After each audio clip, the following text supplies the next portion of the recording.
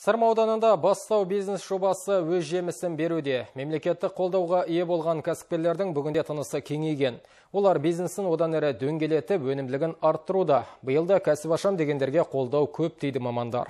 Асылбек Давлиев Өлеңта ауылының тұрғыны. Осы жылы бастау бизнес жобасы арқылы кәсіпкерліктің қыр-сырына қанығыпты. Асығы алшысынан түсті, маусым айында қайтарымсыз грант алып, кейін өз кәсібін бастады. Берілген қаржыға бие сауатын аппарат, қымыз дайындайтын күбі және тоңазытқыш сатып алды. Бүгінде бие сауып, саумал, қымыз өндіріп, табыс табуда. Сапа да, сұраныс та жоғары. Екі бие сауып жатырмын енді.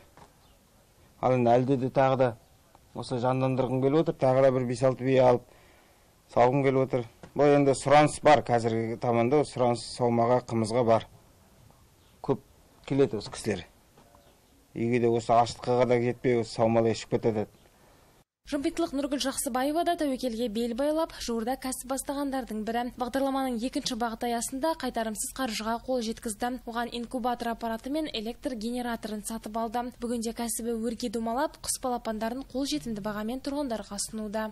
Инкубатор сатып алып, сол аппаратпен жұмыстанудамын яғни жаңағы жұмыртқаларын салып балапан шығардым.